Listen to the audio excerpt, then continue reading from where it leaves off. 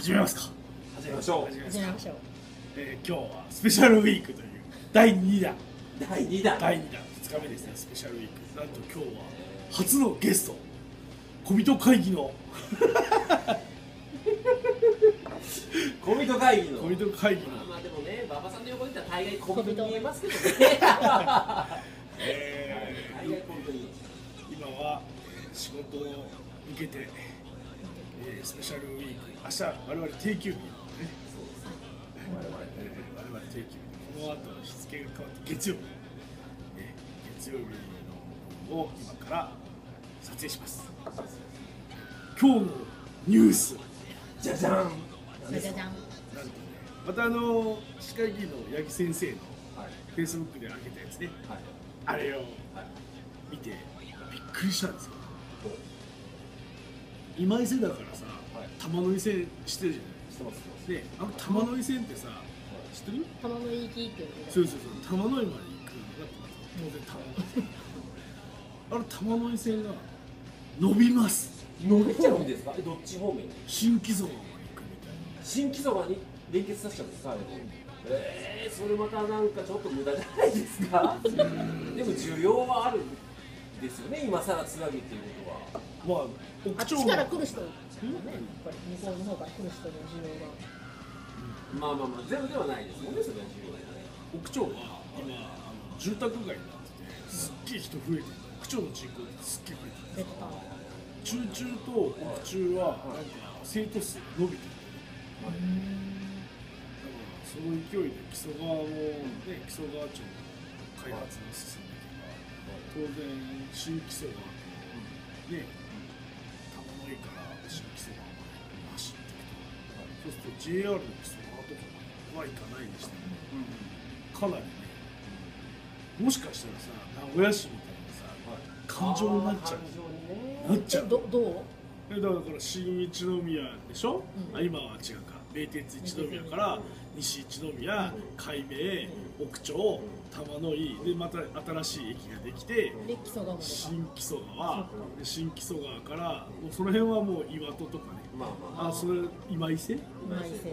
あの辺俺ちょっともう駅わかんない。まあまあまあまあまあでもあります黒。黒田？黒田。黒田は？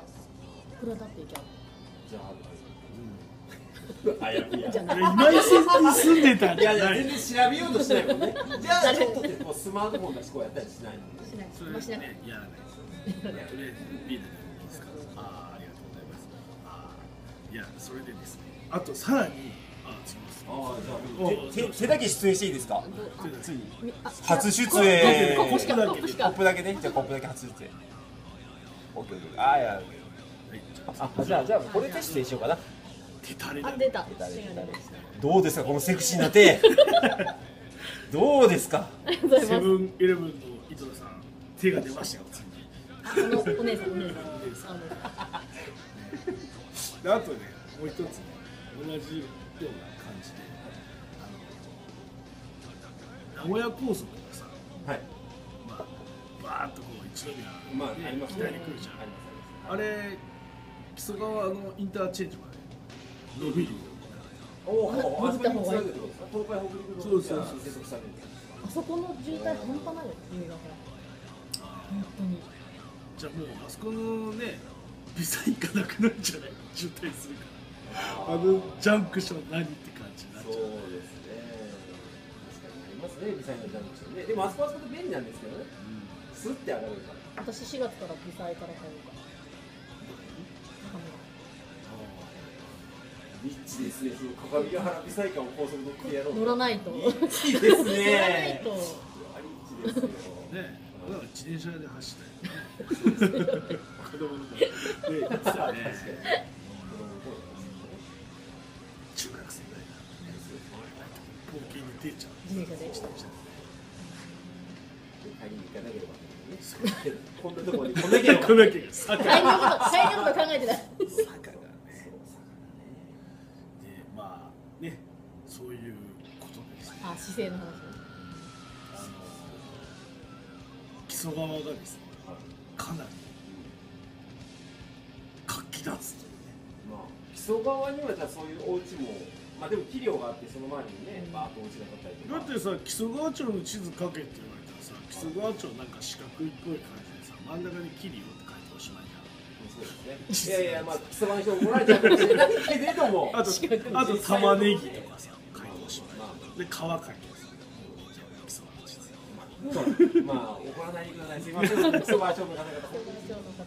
いまあまあでも認識的にはねその正確な形を書けって言われてもねやっぱり書けなかったりしますなんとなく四角じゃねえだって北が北方があって奥町の方があって川がいる感じなんとなく四角じゃん大形に近いですねで真ん中にキリオがある感じそうですね今笑ってて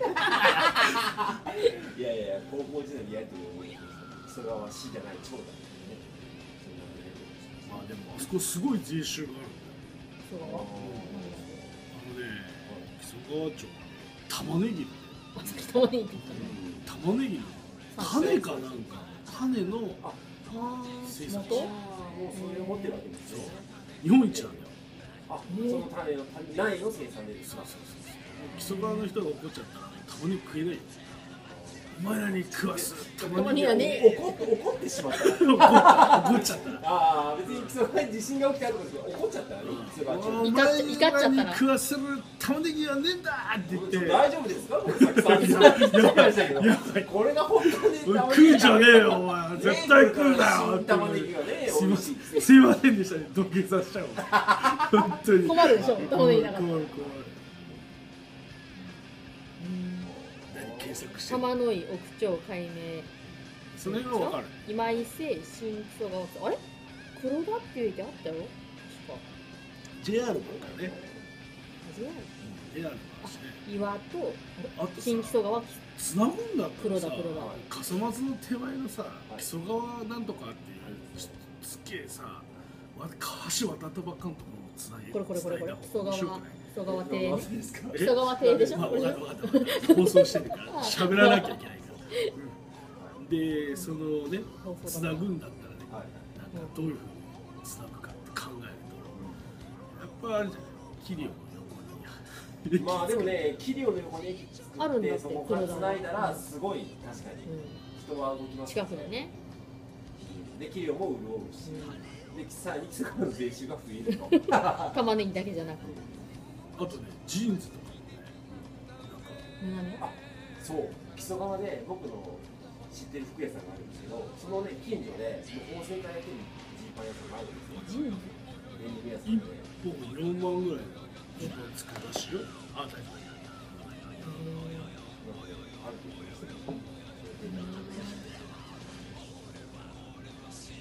だから今後木曽川町かなりね熱いよ便利になっちゃって高速も走るしさ産業もあるしさもしかしたらさ独立しちゃうかもしれないそれは人は人ひょっとしお得意の、得意いのやいやいやいや演説が始まるんですかいやいやいや演説がいつ翔も。くんとか言って出た。いやな安心安心すみますよ。い。やでもねすごいよねだって普通さ全国で廃線になるのなんか前でさ、それを延長するっていうのはなかなかさそうですね。らだからまあやっぱ今回全国的にも珍しいケースなん